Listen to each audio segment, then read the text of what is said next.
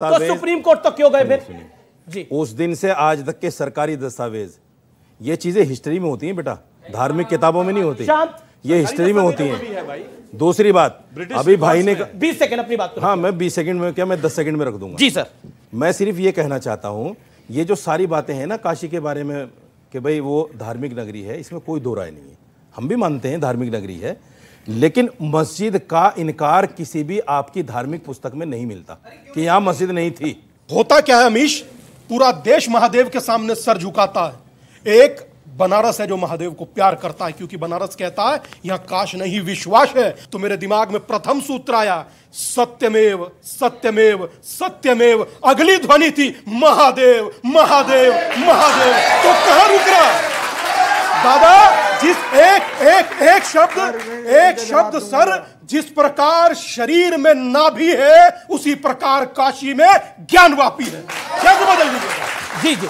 ठीक है मैं आपको आप, हाजी हाजी खान हाजी खान तीस सेकंड दोनों पक, हाजी खान तीस सेकंड अपनी बात को रखिए यही कह रहे हैं हमारे ग्रंथों में काशी का तस्करा है। ठीक है। कुरान में क्यों नहीं? इनको इतनी जानकारी भी नहीं है कि कुरान आया 1445 साल पहले और मस्जिद बनी 400-500 साल पहले उसमें कैसे तस्करा होता है? आपको इतनी जानकारी अब रही मैंने इनसे सवाल किया कि आप ये बताइए कि आपकी जो ये किताब आपकी कौन सी सन में लिखी? उसका आप पे जवाब नहीं है। हम ये कह रहे हैं कि ये मसला हिंदू मुसलमान का नहीं है ये कमेटी का और शरंगार गोरी की लोगों का है। इसलिए झूठ नहीं बोल के उस पर कोर्ट के अंदर है। मैंने कहा कि झूठों ने झूठों से कहा सच बोलो। सरकारी ऐलान हुआ है सच बोलो। भारतीय जनता पार्टी झूठों की एक मंडी है। सरकार के दरवाजे पे लिखा हुआ है सच बोलो। झूठ बोल के सच अच्छा नहीं मैं सच नहीं हो सकता कभी। बीजेपी झूठों की मंडी है। उसकी तारीखी तेरी बीजेपी झूठों की मंडी है।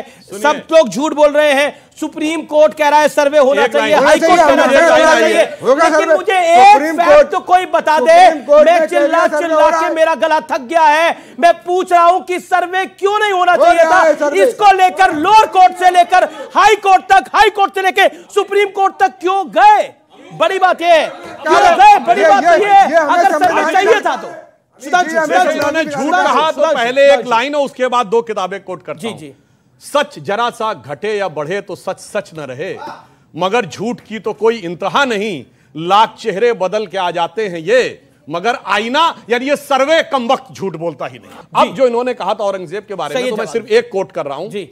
छत्रपति शिवाजी महाराज के दरबार में लिखी गई कविराज भूषण द्वारा लिखी पुस्तक शिवाजी बावनी का एक छंद बोल रहा हूँ। बहुत सोच समझ के इनको उसको निगेट करना होगा। उन्होंने कुंभकर्ण के बारे में शिवाजी के दरबार में लिखा गया है, कुंभकर्ण असुर अवतारी औरंगज़ेब। काशी और प्रयाग में दुहाई फेरी लब रब की। तोड़े देव देव आ रहे शहर मोहल्ले के रे। लाखों मुसलमान की है माला तोड़ी सब की। और काशी करबला होती मथुरा मदीना होती शिवाजी ना होते तो सुन्नत होती सब की। अब बहुत सोच समझ के बोलिएगा इसके बारे में अगर गलत कहे। ठीक है ओके एक एक सेकंड एक सेकंड। मैं मैं आता हूँ सैयद जवाब के बाद सैयद जवाब महत्वपूर्ण बात यह है ज्ञानवापी। ज्ञानवापी एक संस्कृत का शब्द है जिसका अर्थ है ज्ञान का कुआँ। अगर आपके पास कोई फैक्चुअल डिटेल है तो आप इस मंच इस माध्यम के साथ शेयर करिए। और आप कह रहे हैं कि सर्वे होने में कोई तकलीफ़ नहीं थी तो फिर लोअर कोर्ट से सुप्रीम कोर्ट तक सर्वोच्च न्यायालय तक तो वैसे तो जहाँ सर्वे से को रुकाने का आए थे वहाँ तो कुआँ होता ही नहीं था भाई। सुन लीजिए जी।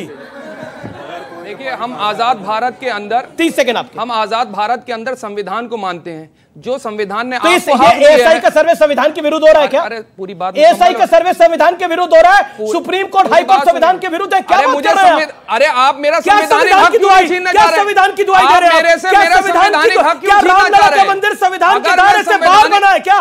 बार बार संविधान संविधान संविधान। क्यों कहाँ है हैं? संविधान? आप मुझे हैं संविधान को क्या? संविधान को नहीं मानते संविधान नहीं मानेंगे आप लोग संविधान को? दायरे में से बाहर? संविधान से चिढ़े। एक सेकंड। बावन साल तक जितने नागपुर के कार्यालय में तिरंगा झंडा नहीं फहराया बावन साल तिरंगे की बात है क्या? बात यह है, आप संविधान के दायरे से बाहर है क्या? जानता हूँ संविधान से चिढ़ हो सकती है। अगर किसी के सुप्रीम कोर्ट संवैधानिक संविधान के दायरे से बाहर है क्या? पे अपनी लड़ाई लड़ रहा है। तो सुप्रीम- क्या आपत्ति है सुप्रीम कोर्ट संविधान के दायरे से बाहर है हाँ, क्या? सुप्रीम कोर्ट से हम लड़ रहे हैं। हम हाई कोर्ट सुप्रीम कोर्ट संविधान के हम इस देश के संविधान के ऊपर यकीन करते हैं और जो लोग नहीं करते हैं सर्वोच्च हम न्यायालय के भारत में संविधान को मानते हैं। तो भारत में कौन संविधान नहीं मानता? एक सेकंड एक सेकंड भारत में कोई रिलीजियस कानून नहीं है भारत में सब संविधान को मानते हैं। मैं मानता हूँ आप मानते हैं। एक सेकंड एक सेकंड एक सेकंड एक सेकंड रामलला का मंदिर संविधान के दायरे से बाहर बनाया है क्या? सुप्रीम कोर्ट के आदेश पे बना है। एएसआई का सर्वे संविधान के दायरे से बाहर हो रहा है क्या? सुप्रीम कोर्ट के आदेश के बाद हो रहा है हाईकोर्ट के आदेश के बाद हो रहा है। फिर संविधान संविधान संविधान संविधान की माला जब कर माला आप तब जपते हैं सच कड़ुआ है। सच कड़ुआ है। हाँ, बताइए।